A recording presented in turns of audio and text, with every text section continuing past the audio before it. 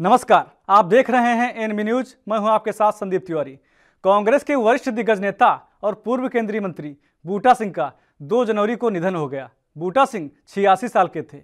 अक्टूबर 2020 में उन्हें brain haemorrhage के बाद एम्स में भर्ती कराया गया था। इसके बाद से ही उनकी तबीयत लगातार खराब चल रही थी। दिल्ली में उन्होंने अंतिम सांस ली। बूटा सिंह राजीव गांधी सरकार में देश के गृह मंत्री रहे, कृषि मंत्री रहे राजीव गांधी के भरोसेमंद लोगों में सुमार बूटा सिंह आगे चलकर बिहार के राज्यपाल और राष्ट्रीय अनुसूचित जाति कमीशन के चेयरमैन भी बने। उनके निधन पर पीएम मोदी ने ट्वीट करके दुख जताया है। पीएम मोदी ने लिखा, श्री बूटा सिंह अनुभवी प्रशासक थे, गरीबों और पिछड़ों की आवाज़ थे। उनके निधन से दुखी हूँ। उनके परिवार और समर्थकों के साथ मेरी संवेदनाएँ। राहुल गांधी ने भी ट्वीट कर लिखा, सरदार बूटा सिंह के देहांत से देश ने एक सच्चा जनसेवक और निष्ठावान नेता खो दिया है।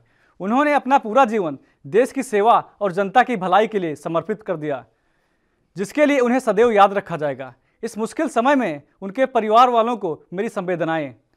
आपको बूटा सिंह की राजनीतिक सफ़र के बारे में बताते हैं।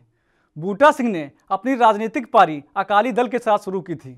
1960 में कांग्रेस से जुड़े, जब जवाहरलाल नेहरू प्रधानमंत्री थे।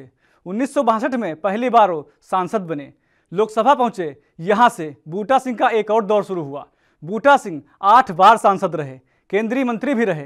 राष्ट्रीय राजनीति में सक्रिय रहने के अलावा उन्होंने अपनी पहचान पंजाब के बड़े दलित नेता के रूप में बनाई।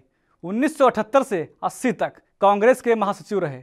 सक्रिय राजनीति के दौर पूरा होने के बाद वे 2004 से 2006 तक बिहार के राज्यपाल रहे। भारतीय राजनीति के बड़े नाम बूटा सिंह अब नहीं रहे, लेकिन उनके ज़िक्र के साथ राजनीतिक पंडितों को वो दौर हमेशा याद आएगा। जब पत्रकारों के सामने हँसते हुए तत्कालीन प्रधानमंत्री राजीव गांधी कहा करते थे, बूटा सिंह जी, अब अपनी कृपाण अंदर रखिए।